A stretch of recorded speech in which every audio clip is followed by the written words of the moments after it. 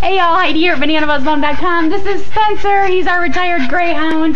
Uh, today is August 1st, and I wanted to introduce you to the challenge that I'm going to be doing this month. It's called Veda. Veda make sure I said that right.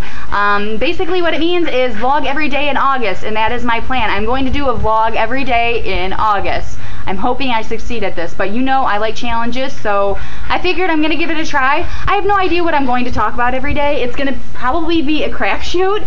As you can see, it will be impromptu. I'm in my backyard with my kiddos. That's, like I said, Spencer. And yes, he does have a muzzle on because he is a retired greyhound and he likes to eat stuff outside and if I cannot keep 100% attention on him like I'm doing this video right now he has the muzzle on because he will go eat something we also have Lily Bean here she is a rescued chihuahua that I got at one of my animal clinics I used to work for. That's Viking. I hope you can see him. He's my boy.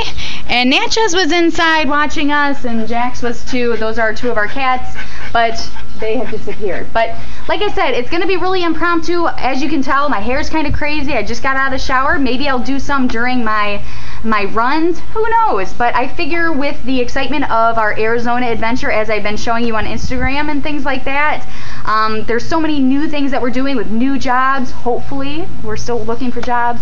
Um, new activities out here in Arizona. Just so many new things. So I figured this was a prime opportunity for me to kind of embrace all of that and share it with you. Especially those that already subscribe, you're going to be able to see a little bit more of me and more I don't know, like I said, this is me instead of, you know, having take after take of all my videos and things like that. So it's going to be more natural, I would say.